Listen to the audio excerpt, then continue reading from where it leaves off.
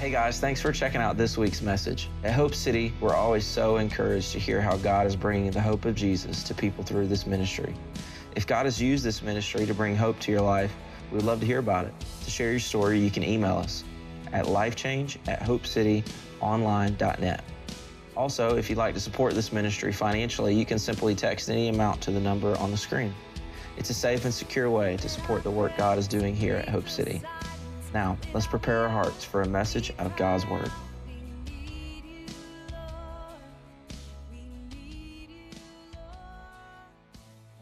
As most of you know, over the last several months, we've been in a series of teachings and conversations that we've called the Upside Down Kingdom. The reason why we've called this the Upside Down Kingdom is because we've been working our way through Matthew chapter 5 through Matthew chapter 7. It's a New Testament gospel according to the writer Matthew,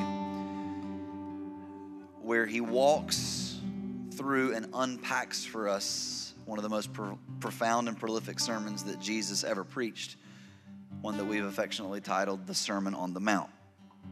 And in this sermon, Jesus lays the groundwork and the foundation for what it looks like to live in this kingdom that he established. But it's so different and so counterintuitive to how we would ever consider the understanding of a kingdom here on this earth that it's best to be known as the upside down kingdom, where it's not about amassing land and wealth and keeping it all for ourselves. It's about tearing down walls and inviting people in. It's not about what we gain, it's about what we give consistently over and over again. There's this upside down tendency to the things that Jesus teaches. And last week, there was a portion and passage of scripture that I spent some time unpacking where Jesus says, You've heard that it was said to love your neighbor, but I tell you, love your enemies. And most people assume that Jesus was unpacking or unveiling something new. When in reality, he was helping us to understand that those who we've classified as our enemies, he classifies as his children, as his creation. And those we've labeled as our enemies are actually our brothers and our sisters. Those that we say are different than us ideologically, philosophically, politically, those who we don't agree with, those that we don't like, those that we've labeled as an enemy, they're actually our neighbor. God says to love your neighbor as yourself as members of this kingdom, as members of this upside down citizenship, we're called to bring love and mercy and grace to those that society has labeled the untouchables. There's a portion of scripture that I read last week that I want to take a moment and reiterate. And I'm going to go ahead and warn you now, this morning is going to look significantly different than any other morning here at Hope City. If you're a guest with us or you haven't been here in a while, I want you to know that what we're about to do and embark on is not something that is normal around here, but I think that it's necessary and that it's timely.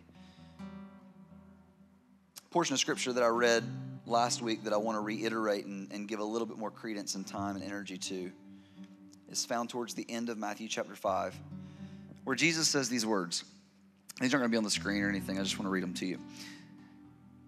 If you love those who love you, what reward will you get? Are not even the tax collectors doing that? And if you greet only your own people, what are you doing more than others? Do not even the pagans do that? Be perfect, therefore, as your heavenly Father is perfect. Eugene Peterson wrote paraphrase translation of the scriptures known as the message. And in the message translation, it's worded this way This is what God does He gives His best, the sun to warm and the rain to nourish, to everyone, regardless, the good and the bad, the nice and the nasty. So if all you do is love the lovable, do you expect a bonus? Anybody can do that. If you simply say hello to those who greet you first, you expect a medal? Any run of the mill sinner does that. In a word, what I'm saying is this grow up, your kingdom subjects. Now live like it. Live out your God created identity. Live generously and graciously toward everyone the way that God lives towards you. Right now, there is a dialogue and a discussion taking place in our nation that I think is a timely dialogue for the body of Christ to not only tune into, but to have a voice in. Because there are people in our society that have been labeled enemies. There are people in our society who've been labeled untouchables. There are people in our society who've been labeled broken and God has called his kingdom subjects to go and show grace and mercy and compassion and love to those people, the ones that society has placed labels on. But I think the question that we fail to answer and where we often fall short in the body of Christ is the question of how. Like, like tangibly, physically, how? How do you do that? Do you go down one Saturday and serve at a, at a food pantry? Do you go find somebody who doesn't look like you and try to have a conversation with them to understand where they're coming from? Like, like how do you do this?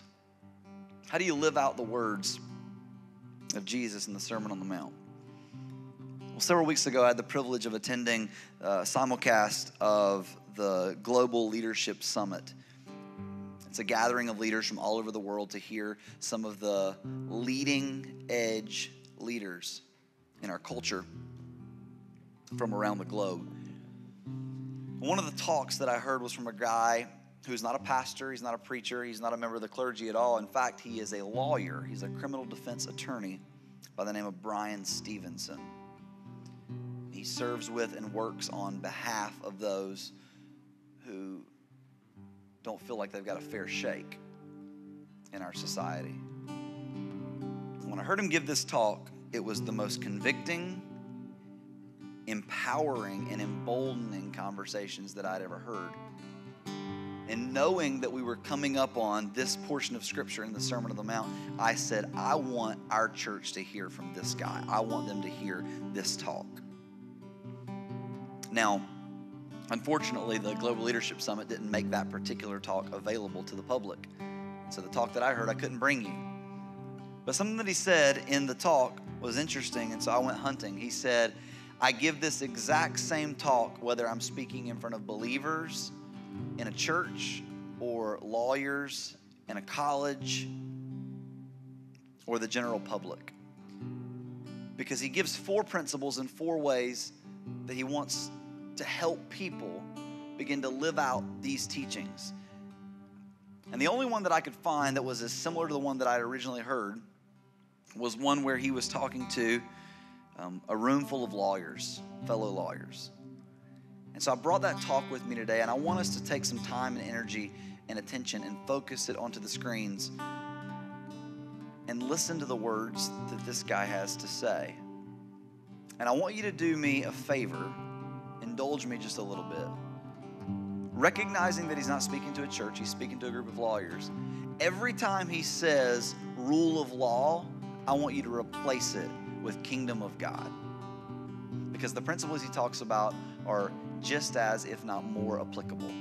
And every time he says lawyer, I want you to replace it in your mind with believer. You think you can do that? It's a, it's a big ask, I know. Every time he says rule of law, think kingdom of God. And every time he says lawyer, think believer. And I know that's difficult for some of you because, like, there could not be two more polar opposite than a Christian and a lawyer in your mind. So you're struggling with that right now. But just hang with me for a second because I promise you, God wants to teach you, God wants to show you, God wants to challenge you this morning. And even if He says some things that challenge your ideologies, even if He says some things which challenge you politically, even if He says some things which challenge you culturally, if you're from the deep south, I want you to at least be willing to be open to what it is God may be wanting to say to you today.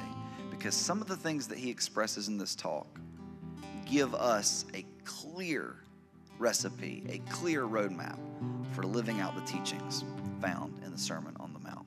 So turn your attention to the screens as we hear from Bryan Stevenson.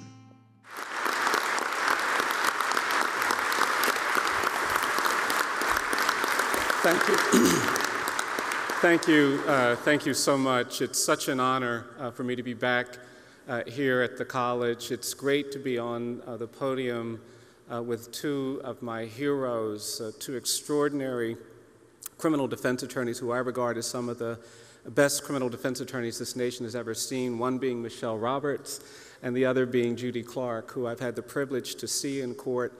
It's also great to be back here because in 2004 you did something really extraordinary for me by awarding me uh, this award. Uh, uh the justice mentioned that I grew up in a home dominated by my grandmother, who was the architect uh, uh, of everything that happened in our lives. She was a traditional African American matriarch. My grandmother was tough and strong.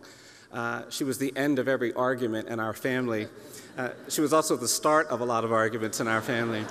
Uh, but my grandmother had these qualities that just never left you. And when I was a little boy, she'd come up to me and she'd give me these hugs. And she'd squeeze me so tightly, you could barely breathe. You thought she was trying to hurt you. And then she'd see you an hour later and she'd say, Bryan, do you still feel me hugging you? And if I said no, she would jump on me again. And by the time I'd gotten to be nine or 10, she had taught me and all of her other grandchildren, as soon as we would see our grandmother, the first thing we would say is, Mama, I always feel you hugging me. And she would let us be, but that was something that she did. And when my grandmother was in her 90s, and she was still working as a domestic worker, and she'd fallen on a bus, and she had developed a hip injury and cancer, and we knew she was in her last days. I went to see her, and I never will forget being there, just being disappointed because her eyes were closed. I didn't think she could hear what I was saying to her, and I was sitting with her and holding her hand. And I said my final goodbyes, and my grandmother squeezed my hand. And she said, Bryan, do you still feel me hugging you?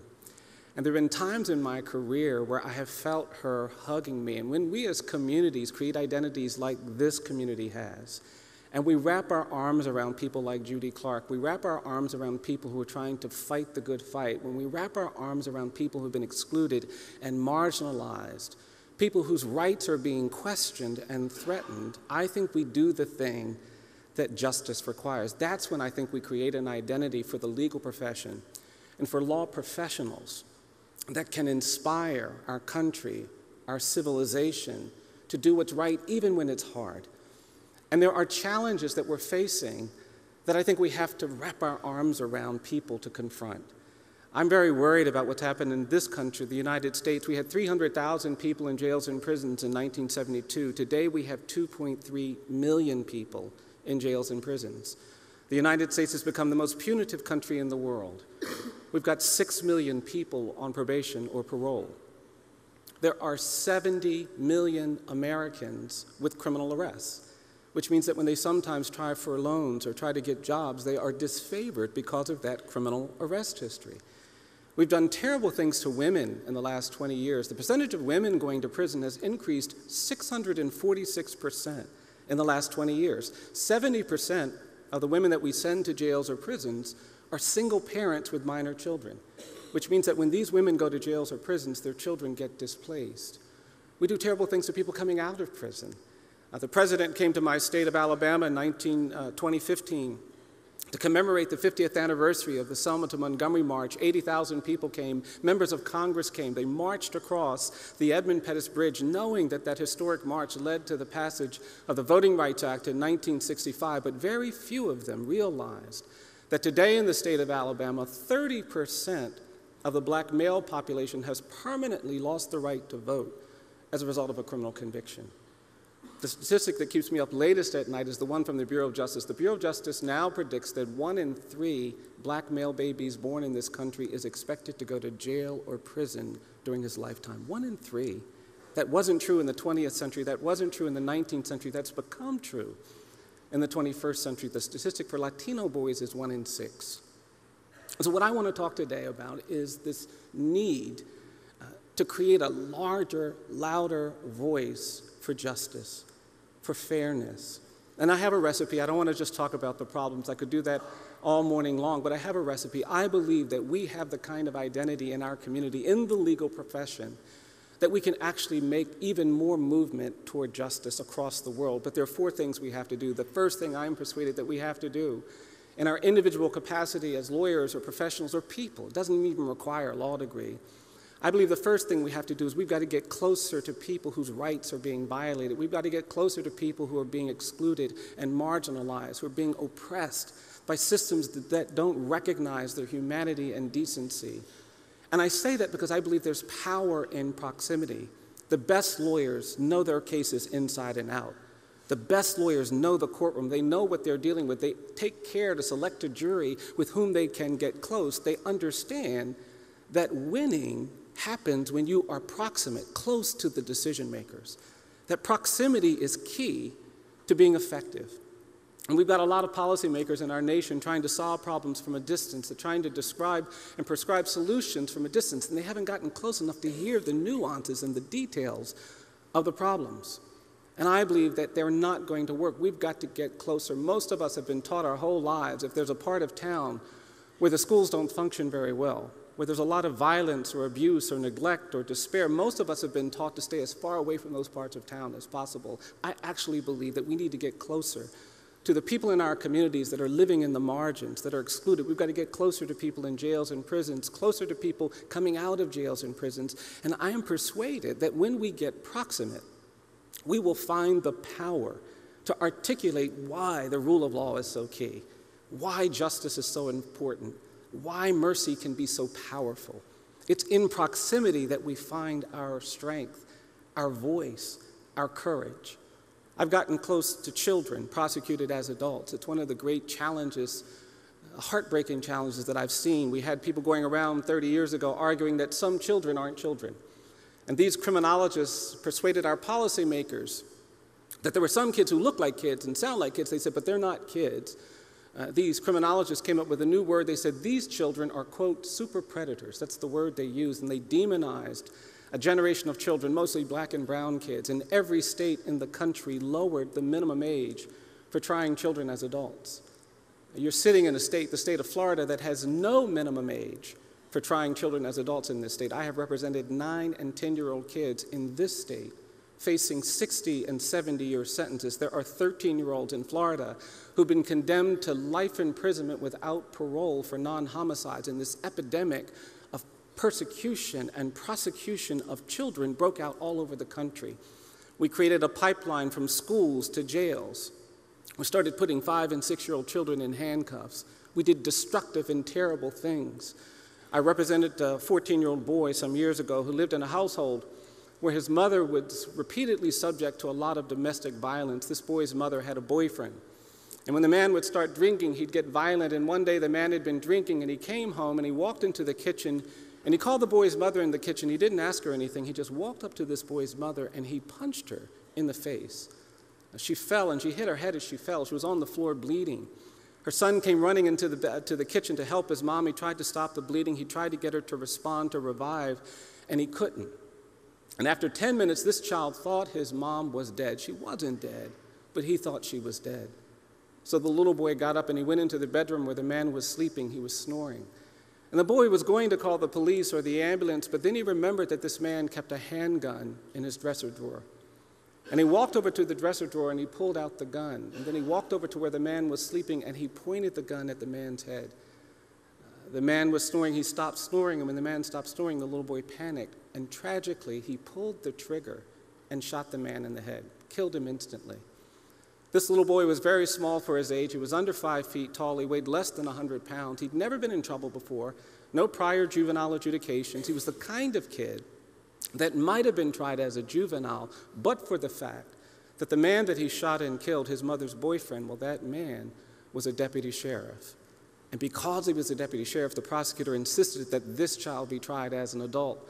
And the judge certified him to stand trial as an adult. They placed him in the adult jail. He'd been there three days before his grandmother got me involved in the case. And I went to the jail to see this little boy. And when he walked in, I was just brokenhearted by how small and terrified he looked. He sat down, I started asking him questions, but no matter what I asked him, he wouldn't say anything. He just sat there.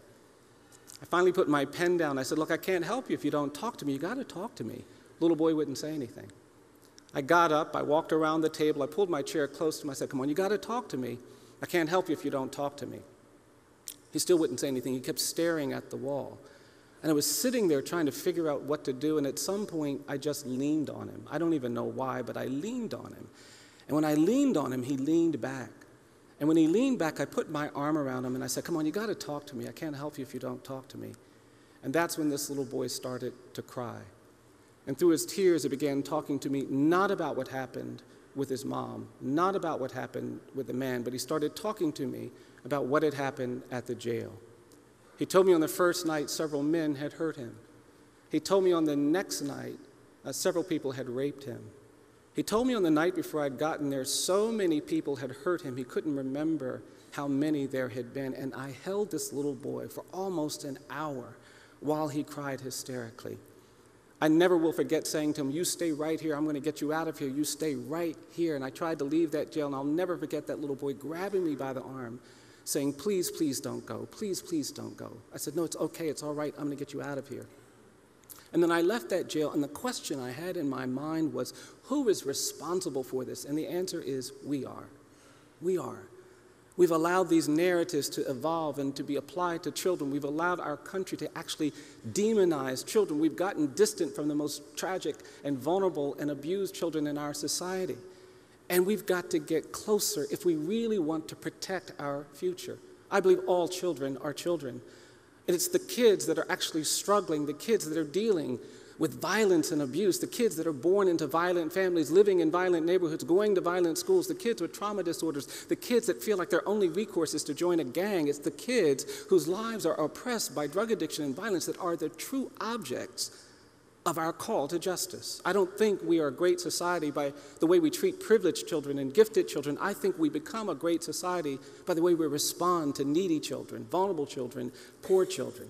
And proximity will do some things. It made me understand that we've got to change the laws. That's why we've been to the United States Supreme Court, arguing for an end to life without parole for children, arguing for reforms. There are 10,000 children in adult jails and prisons today, and I believe if we get close to them, we will find an end to end that. But proximity won't be enough. The second thing I'm persuaded we have to do is we've got to change some of the narratives that bar us from doing justice, that block us from achieving the rule of law. And I've seen this happen. We have mass incarceration in America because we made some policy choices. We decided to deal with drug addiction and drug dependency as a crime issue. We said those people are criminals. Now, we could have said that that's a health issue. I think we should have said that that's a health issue. You've got countries around the world that recognize that addiction and dependency is a health problem. But we didn't do that. We said it's a crime problem, and now we've put hundreds of thousands of people in jails and prisons because of their dependency. Now, with alcoholism, we said that's a health problem, that's a disease. And we have an understanding that if we see someone going into a bar who's an alcoholic, we know that we're not supposed to call the police. But we didn't do that for drug addiction. And the reason why we didn't do that is I, because, I believe because we were being led by a political mindset that was rooted in what I call the politics of fear and anger. And when we allow ourselves to be governed by fear and anger, we will actually tolerate injustice, We'll tolerate inequality. If you go anywhere in the world and you see a breakdown in the rule of law, if you see oppression and abuse, if you ask the oppressors to justify what they are doing, they'll give you a narrative of fear and anger. I believe that the rule of law stands to resist, to fight, to block the power that can be unleashed when we are governed by fear and anger. And we've got to change these narratives of fear and anger. We've got to stand up for courage and reason. That's what's at the heart of the rule of law. Changing narratives is hard, but I think it's essential. If we're going to have a recipe that really moves us toward justice, I think we have to change the narrative about race in America. Because I'm not persuaded we're yet free. I think we're burdened by a history of racial inequality that has hovers in the, in the atmosphere like smog. I think what we've done in this country over the centuries has created real injuries, and we haven't treated those injuries. And I think we've got to change the narrative of racial difference that still shapes our lives. And the way we do that is talking about things that we haven't talked about. You see, I think we have to talk about the fact that we are living in a post genocide society. Both in this country and in Canada, there were native people here before white settlers came. And millions of them were killed through famine and war and disease. And we didn't really acknowledge that the way we should have. We didn't say that that was a genocide. We said, no, those people are different. We said they're savages. And we used this narrative of racial difference to legitimate that violence. It's that same narrative that I believe sustained centuries of slavery. I don't think the great evil of American slavery was involuntary servitude or forced labor. I believe the great evil of American slavery was the narrative of racial difference that we created to legitimate enslavement. Uh, we wanted to feel moral and just and Christian while we owned other people. So we made up this narrative. We said, oh, black people are different than white people. They can't do this, they can't do that. They're not fully human. They're not evolved. They're not this. And this ideology of white supremacy, that was the true evil of American slavery. And if you read the 13th Amendment, it only talks about involuntary servitude and forced labor. It doesn't talk about the narrative of racial difference. And because of that, I don't think slavery ended in 1865. I think it just evolved. There were decades of lynching and terror and violence that followed emancipation. Throughout many parts of this country, black people were pulled out of their homes. They were burned alive. They were hung. They were menaced. They were beaten. They were brutalized.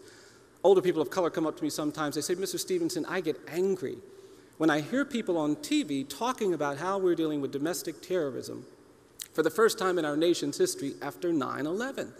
They say we grew up with terrorism. We had to worry about being bombed and lynched and menaced every day of our lives. The demographic geography of this nation was shaped by terror lynchings.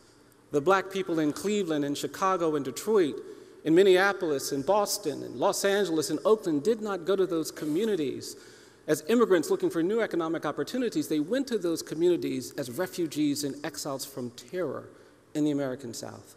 And if you know anything about a refugee community, you know you have to deal with that trauma, which we didn't do. And then we moved into the era of segregation and civil rights, and it's great that we honor the leaders of the civil rights movement, but I worry we've gotten too celebratory when we talk about that period of American history.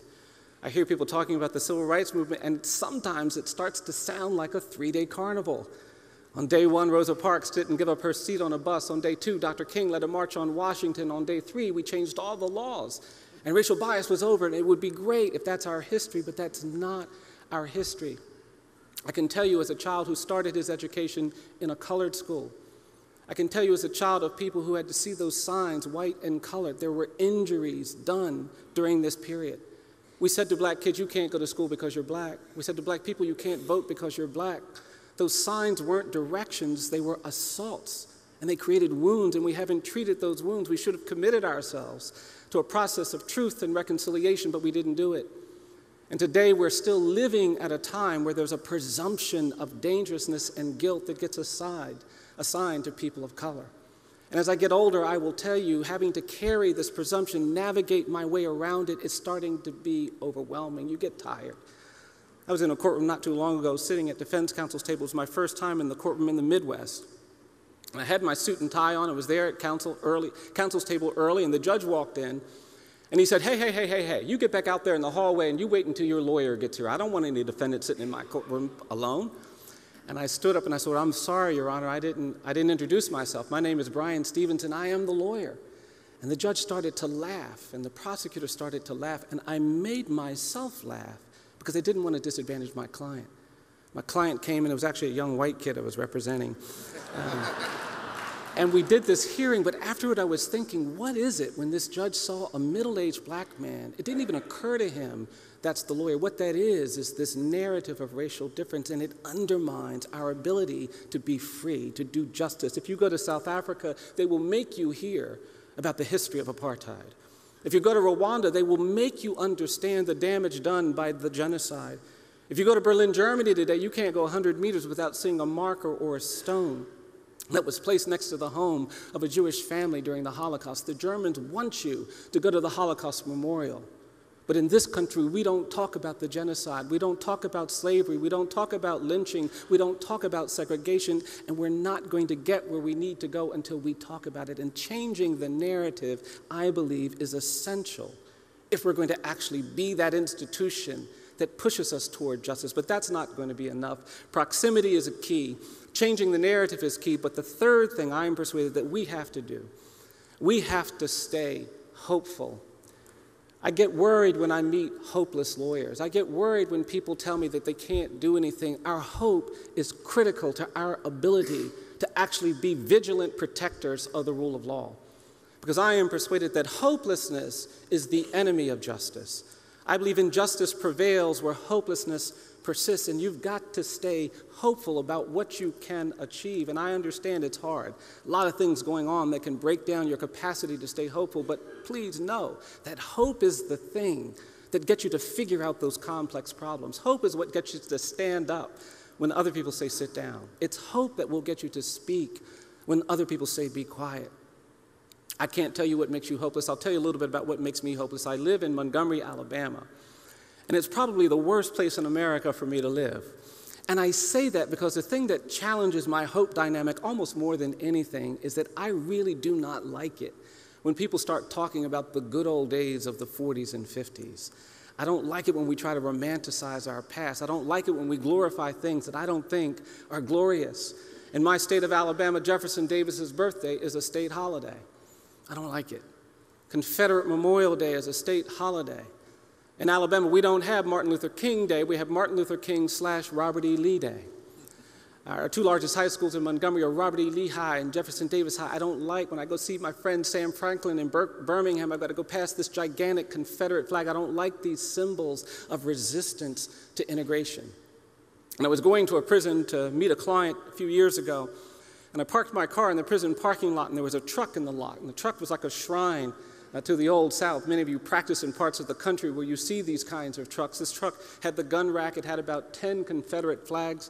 I don't know why you need 10 flags of anything, but it had all of these bumper stickers. And there were actually bumper stickers on this truck I'd never seen before. And I stood there and looked at the truck, and one of the bumper stickers read, quote, if I'd known it was going to be like this, I'd have picked my own cotton. Hadn't seen that one before. And I was provoked by this truck, and I went to the door to go into the prison, and there was a white guard there. And as soon as I explained to him, I said, Hi, my name is Bryan Stevenson. I'm here for a legal visit. The guard said, You're not a lawyer. I said, Oh, yes, sir, I am. I've been to this prison before. He said, I don't believe you're a lawyer. Where's your bar card? I said, I've never needed to show my bar card to get into this prison. He said, Well, I'm not letting you in here unless you have a bar card. So I had to go back to my car and get my bar card. I came back, I showed it to the man. I said, Look, I want to go into the prison. I was a little insulted. I said, I want to see my client now. And the man said, Well, you've got a bar card, but I'm still going to make you get in that bathroom. I'm not letting you in until I give you a strip search. I said, No, sir, lawyers don't get strip search coming into this prison. He said, Well, you're not coming into my prison unless you get in that bathroom. And I couldn't get anybody to help, I couldn't get anybody to intervene, and so I made the difficult choice of going into the bathroom and subjecting myself to this humiliating strip search. I came back out, I said, Look, I want to see my client. I was trying to recover some dignity. And the man said, Well, you've got to go back there and sign the book. I said, Lawyers don't have to sign that book. He said, You're not coming in unless you sign that book. So I did. And finally, the man took me over to the door, and I was trying to just get out of the room with him into the visitation space. And as I walked by him, he grabbed me by the arm. He said, Hey, hey, let me ask you something. I said, What's that? He said, Did you see that truck out there with all of those bumper stickers and flags? I said, Yeah, I saw that truck. He said, I want you to know that's my truck. Provoked me. I was in the visitation room angry, waiting for my client. My client was a young African American man I'd never met before. And the client came into the room finally, and he sat down, and the first thing the client said to me was, quote, uh, Did you bring me a chocolate milkshake? And I thought to myself, this is the strangest day I've had in a really long time. I said, No, I didn't bring you a chocolate milkshake. I'm your lawyer. I'm here to represent you. And I started asking my questions, and then I realized he wasn't paying attention. So I put my pen down. I said, Look, man, I'm sorry. I didn't realize you wanted me to bring you a chocolate milkshake. The next time I come, if they let me, I'll bring you a chocolate milkshake. And that's when this man smiled and smiled and smiled, and I realized he was severely disabled. It turned out that he had been uh, developed symptoms of bipolar disorder at the age of 13. He was actually in 29 foster homes by the time he was 10. Uh, when he couldn't get medical care at 13, he began using crack cocaine. At 15, he began using heroin. At 16, he had uh, evidence of schizophrenia. At 17, he was homeless. At 18, he began having psychotic episodes. At 19, in the midst of a psychotic episode, a man walked by him while he was sitting on the street. This client thought the man was a demon come to destroy him. It was just a man walking by, but he stabbed that man to death. He was arrested, charged with capital murder, uh, quickly convicted of, of, of, of, a capital murder, and sentenced to death. The trial lasted a day and a half. When I got the record, I read through the record. I couldn't find the words mental health, mental disease, mental disability anywhere in that record. He was terribly defended, and we still have too many places in this country where our criminal justice system treats you better if you're rich and guilty than if you're poor and innocent. Wealth is still the determining factor. And so we got involved and we tried to present a new case for this man. We wanted to overturn his conviction. We wanted to uh, persuade the courts that he should not be executed. And I couldn't agree more with Judy that there's a need, an urgent need for us to address this issue. The question of the death penalty in this country cannot be decided by asking whether people deserve to die. We've got to first ask the question do we deserve to kill? And when you have a system that doesn't treat the poor fairly, when you have a system that's been compromised by politics and bias and all of these arbitrary factors, I don't think we do. And so we started working on the case. And months later, had a great expert list put together and witnesses to call. And we went to the courthouse to defend this man, and I was uh, really worried. And I, I, sat down with my client. I said, Look, you know, I, I wasn't able to get you a chocolate milkshake. I was never able to do that, but I need you to pay attention. And he said, I'll try. And I turned around, and who did I see in the courtroom but that guard who had treated me so badly? Hadn't seen him since, but he was the guard who had brought the man from the prison to the courthouse. Well, we put on our evidence. The judge was paying attention. I was getting hopeful. The judge seemed to be engaged in the witnesses and the arguments we were making, and after three days, I was very, very hopeful we might get some relief. About a month later, I went back to the prison to see my client. I parked my car and I was walking inside, and lo and behold, what do I see in the prison parking lot? That truck. And I was having one of those days where I just didn't think I could put up with a lot of foolishness, so I actually decided to come back another day, even though I'd driven two hours. And I turned around to walk back to my car, and that's when I started hearing that song we used to sing in my community. They used to sing this song, Can't Let Nobody Turn Me Around, Turn Me Around, Turn Me Around. And I realized I wasn't supposed to turn around. So I got my bar card. I said, I'm going to go deal with this guy. And sure enough, he was at the door, and I went up to him and I said, Hi, my name is Bryan Stevenson. I'm here for a legal visit. And the man cut me off. He said, Hello, Mr. Stevenson. How are you? I said, I'm fine. Here's my bar card. He said, I don't need to see that. I said, Well, thank you. I'll get in the bathroom for your search. He said, Oh, we're not going to do that today. I said, Thank you. I said, I'll go back here and sign the book. He said, Mr. Stevenson, I saw you coming and I signed you in. I said, Thank you. He said, Yes, sir. And he turned around to take me to the visitation door, and I was walking behind him. And truth be told, I was kind of walking on my tiptoes because I knew something bad was really about to happen. And when we got over in front of the door, I watched this man reach into his pocket and he pulled out his keys to unlock the door, but all of a sudden his hands started shaking so badly he could not get the key in the lock. And I was staring at him, figuring out what is going on here. And finally, he got his hand steady enough to put the key in the lock and he unlocked the door. And when he turned around, his face was bright red. And he said, Mr. Stevenson, Mr. Stevenson, there's something I have to say to you. I said, What's that? He said, Well, I want you to know I was in that courtroom when you did that hearing and I was listening. He said, I want to tell you something. He said, I want you to know I came up in the foster care system too. He said, I didn't think anybody had it as bad as I did. But listening, I realized that maybe your client had it worse than I did.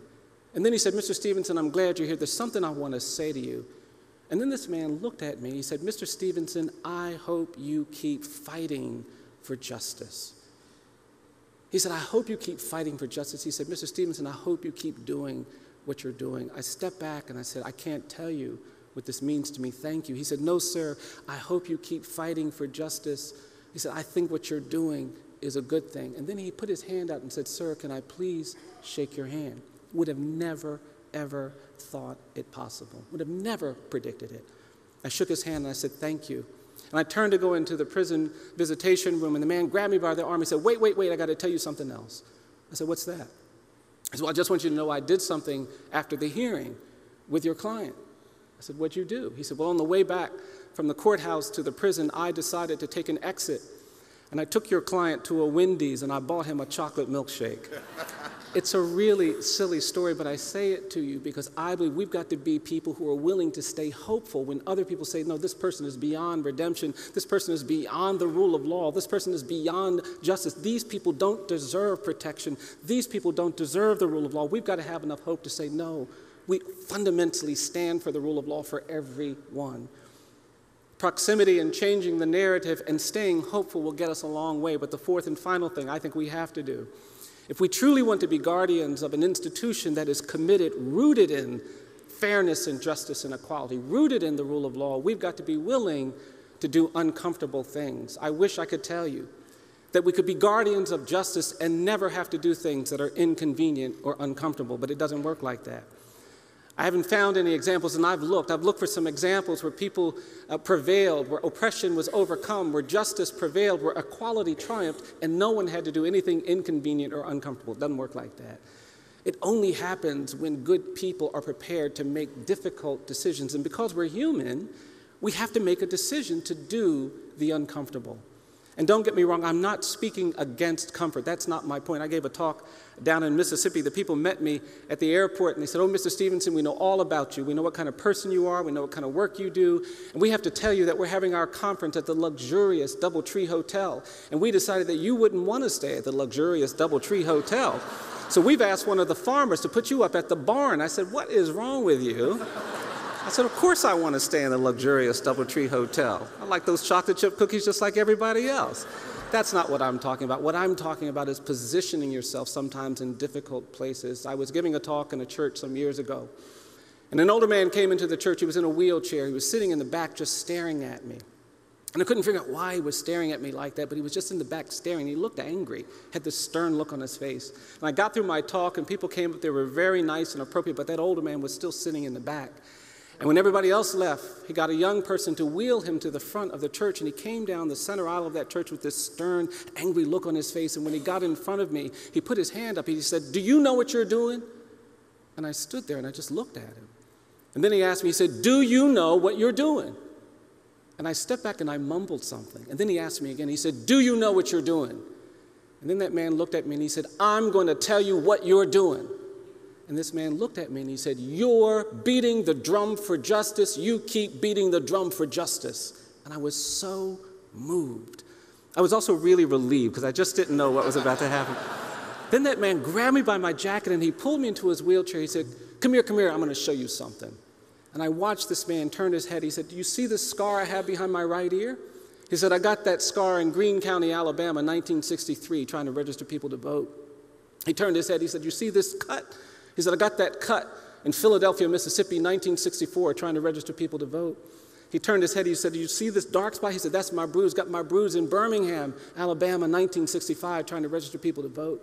He said, I'm going to tell you something, young man. He said, People look at me. They think I'm some old man sitting in a wheelchair covered with cuts and bruises and scars. He said, But I'm going to tell you, these aren't my cuts. They're not my bruises. He said, These are not my scars. He said, These are my medals of honor. I am persuaded that we can and must create a force moving toward justice on behalf of everyone. I believe really simple things. I believe each of us is more than the worst thing we've ever done. I think if someone tells a lie, they're not just a liar. I think even if someone kills someone, they're not just a killer, and justice requires we know the other things they are. I am persuaded that in this country, the opposite of poverty is not wealth. I believe the opposite of poverty is justice. And when we do justice, we deconstruct the conditions that give rise to inequality. And finally, I believe that our commitment to the rule of law, our character as guardians and custodians of the rule of law, cannot be judged looking at how we treat the rich and the powerful and the privileged. We will be judged on how we treat the poor, the disfavored, and the incarcerated. I am so honored to be with this community. I'm so proud to celebrate this moment with you. I hope you'll get proximate. I hope you'll change narratives. I hope you'll stay hopeful. I hope you'll do uncomfortable things. I know we can advance justice for people who desperately need it. And I want to thank you for this wonderful privilege to speak to you. I wish you all the best. Thank you.